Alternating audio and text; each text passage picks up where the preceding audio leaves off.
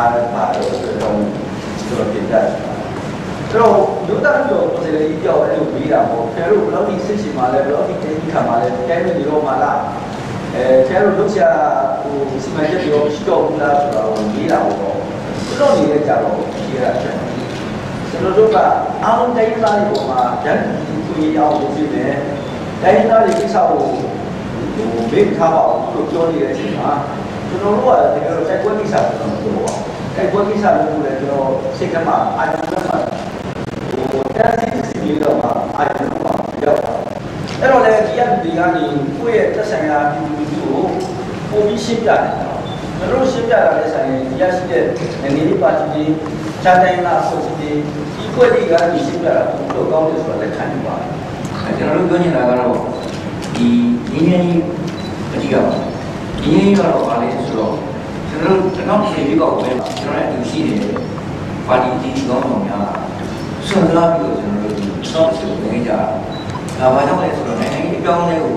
2010ကနေတရားဆောင်နိုင်နေဆိုတဲ့ဒီကွန်မြူရှိပြီးတော့အကြောင်းကျွန်တော်တို့ဒါကို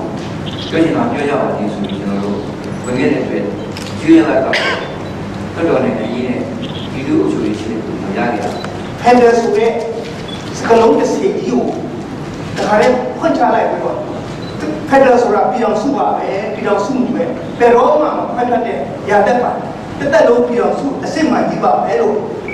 ဝန်ကြီးတို့ကလည်းစပြီးတော့သုံးလုံးလိုက်တယ်ဆိုလို့ရှိရင်ကျွန်တော်တို့တိုင်းသားတွေအားလုံးကပြည်တော်စုသားအားလုံးက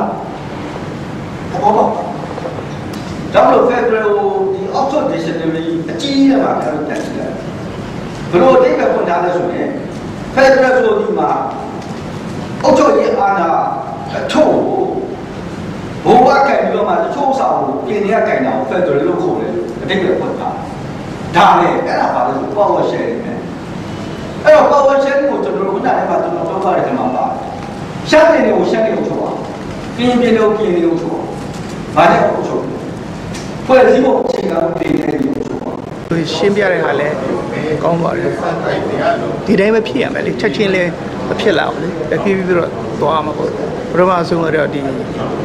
ဟိုပြည်တော်စုအဆင့်ဝန်ကြီးတွေအားလုံးဟိုပေါ့သူတို့လည်းတဘောပေါက်နေတာပဲနော်အများကြီးပွင့်လင်းလာတယ်လေဒီရင်တော့ကစားအများကြီးပွင့်လင်းလာပါတယ်ကောင်းပါတယ်ဒီရခိုင်ကိစ္စကလည်းညင်သွားပြီလေဟုတ်တယ်မလားဟိုကချင်ကိစ္စလည်းသူတို့ကနိုင်ငံရေးဆွေးနွေးကြတယ်ဆိုတော့ ဝန်ကြီးအောင်မြင်လည်းပြောတာပဲလေ